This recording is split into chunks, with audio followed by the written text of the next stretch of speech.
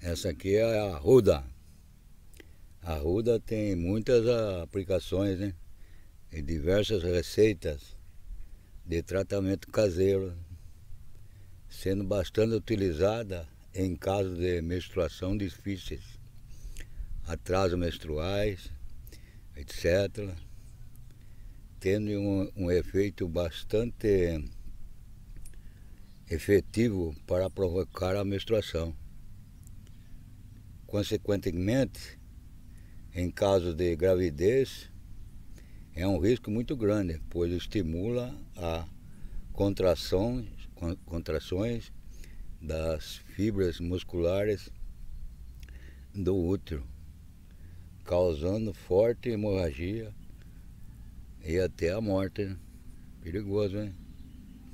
Portanto, se for utilizá-lo para forçar a vinda da menstruação, é melhor se certificar de que não, de, de não estar grávida, né? O, o chá de arruda também funciona como, como um potente calmante.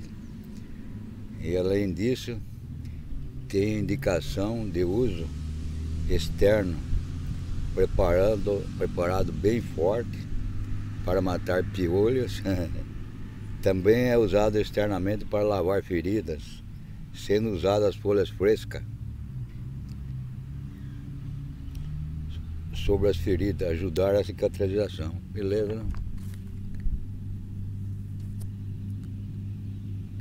Bom, já deu para vou dar um close lá, com a ruda. Vamos fechar aqui para colocar no YouTube. Cuidado com a ruda, é, mulherada. Perigoso também, hein? Morre. É tudo. É tudo remédio, né?